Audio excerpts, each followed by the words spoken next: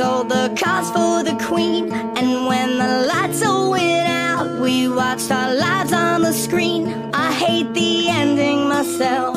But it started with an alright scene